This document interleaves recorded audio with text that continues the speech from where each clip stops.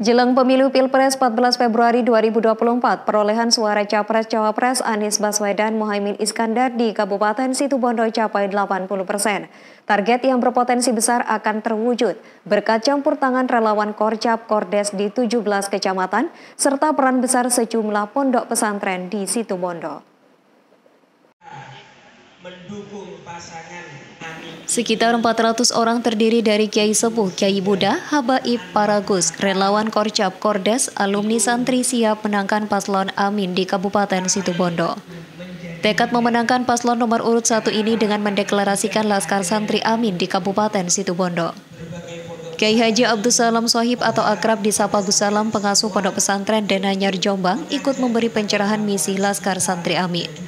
Tausiah siap memenangkan Anis Amin ikut dilontarkan Bunyai Juwariah Fawaid Pondok Pesantren Salafiyah Safiyah Sukorejo dan Gus Makmun Pondok Pesantren Al-Falah Kediri.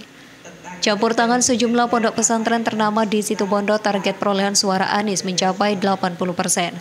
Gerakan Laskar Santri Amin menyasar kalangan pesantren, masyarakat umum dan pedesaan di Kabupaten Situbondo. Pasca deklarasi ini, seluruh kekuatan Laskar Santri Amin di situ Bondo segera bergerak cepat mengingat coblosan pemilu Pilpres menghitung jari. Kabupaten yang ke-30 yang kita hadiri untuk konsolidasi Laskar Santri. Memang sasarannya memang di kelompok-kelompok santri atau dari komunitas uh, lain? Kita konsolidasikan kapitalisasi suara santri untuk apa? Agar mereka santri bekerja di masyarakat di umat meyakinkan Anies Baswedan. Targetnya 80 persen tadi. Situ Bondo ya, karena ini kami anggap basis apa? Himbauannya apa kepada konstituennya Amin?